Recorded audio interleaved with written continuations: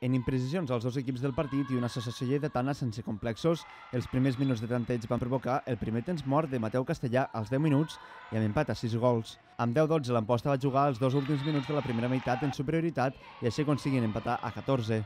Que la primera parte, como bien dije, eh, yo creo que fue una falta de actitud o de intensidad. Eh, ese, esa charla en el entretiempo en el vestuario y esos gritos nos ayudaron a darnos cuenta que teníamos que, que salir de otra manera, con otra cabeza y con otra, con otra actitud y eso fue lo que hicimos y pudimos sacar adelante el partido.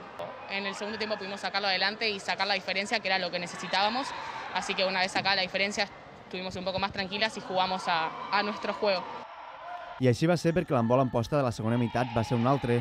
Les ampostines van recuperar la intensitat defensiva i van poder córrer el contraatac. Georgina Vila va ser letal en 8 gols i les 12 aturades de Marta Galvez van mantenir viu el seu equip en els moments complicats. El primer parcial de 6 a 1 va permetre marxar abans del minut 5 de la represa i les diferències es van anar ampliant fins a arribar als 10 gols al tram final del partit quan l'associació es va veure superada i ja no van poder reaccionar. Gemma Galvez, la millor del partit en 9 i Jou Turnes en 7, van ser juntament en Georgina les màximes anotadores.